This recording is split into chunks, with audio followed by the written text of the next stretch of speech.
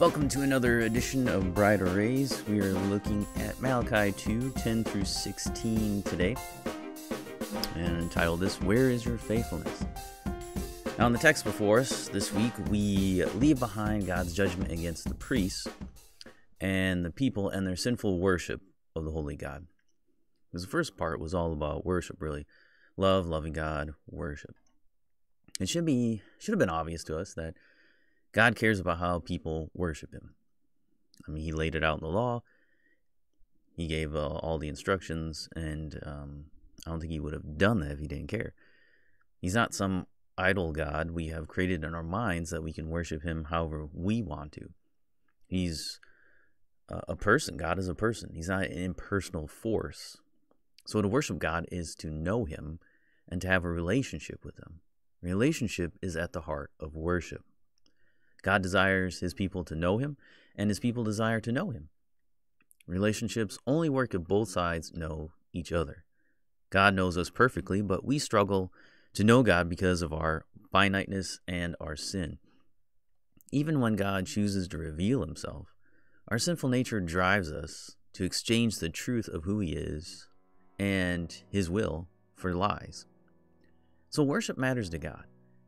And relationships matters to God because that's at the heart of worship. But our flesh, the devil, and the world says mm, God doesn't care. He doesn't care how you worship him. He doesn't care how you get to know him. All roads lead to God. All ways are about God. But God does care. Since God cares about our relationship with him, the question is does he care about our relationships with other people? The resounding answer from Scripture is yes. From the very beginning with Adam and Eve, God demonstrated that He cared about how humans interact with one another. He created the first couple and officiated the first marriage. He made them male and female, brought them together, and He walked with them in the garden. But when they sinned, the relationships were damaged. Something broke in them, and they felt that they were naked. They had broken God's command and were guilty. With the guilt of breaking the covenant with God came shame and the feeling of nakedness. There's fear and anxiety. Before they were naked physically, spiritually, mentally, emotionally before God and each other. There was no there's no hindrance there, there's no barrier there. But with sin came a conscious feeling of shame. But God still cared about Adam and Eve's relationship and his relationship with them. He covered them with clothes and covered their sin with a sacrifice and guaranteed with a promise of one who would ultimately restore their relationship. We think that God does not care about relationships as much as he did our relationships as much as he did about Adam and Eve's, then we bought into the lie and we deceived ourselves. Malachi 2 10 through 16 shows us that God still cared after thousands of years of humanity about relationships. The Gospels showed how intensely and how immensely God cares.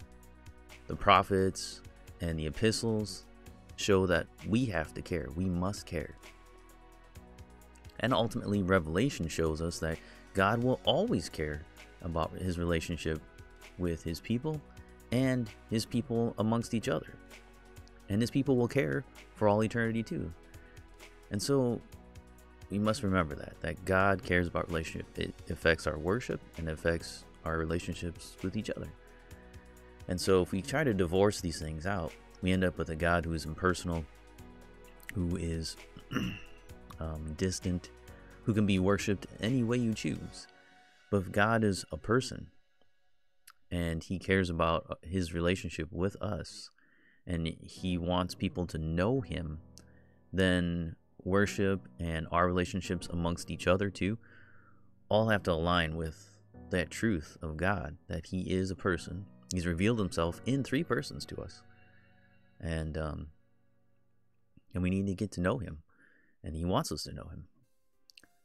So that's where we're going this week, and uh, tomorrow we'll look at verses 10 through 12 and take a look at the first part where the people had bad marriages.